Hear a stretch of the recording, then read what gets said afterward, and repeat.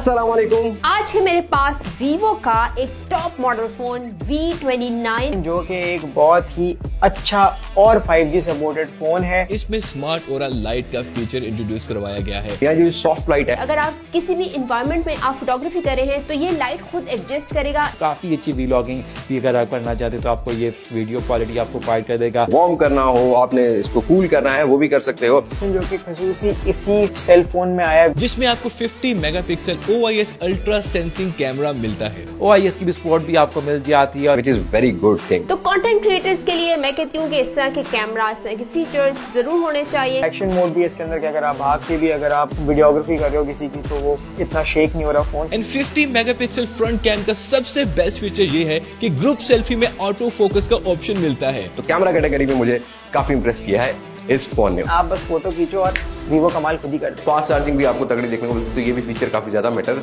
करता है। यहाँ पर आपको एटी वॉट का फ्लैश चार्जर मिल जाता है जो कि आपके फ़ोन को काफ़ी क्विकली चार्ज कर देगा। आ, इससे ज़्यादा आपको ज़िंदगी में क्या तेज चीज़ें चाहिए? लाइट वेट रखा गया है स्मार्टफ़ोन का डिज़ाइन विजुअल एक्सपीरियंस और आपका जो स्मूथनेस है डिस्प्ले की वो काफ़ी तगड़ी देखने को मिलती है। कर्व डिस्प्ले दिया गया है। 120 हर्ट्ज का रिफ्रेश रेट आपको स्मूथ प्रोसेसर मिल रहा है। काफ़ी अच्छी फीचर्स और काफ़ी अच्छी स्पेसिफिकेशन के साथ ये स्मार्टफ़ोन लॉन्च किया गया है। बी सीरीज़ के अंदर वीवो ने काफ़ी ज़्यादा इंप्रूवमेंट किया। इस प्राइस रेंज में मैं तो सबको रिकमेंड करूँगा कि भाई इस फ़ोन की तरफ़ आप जाओ।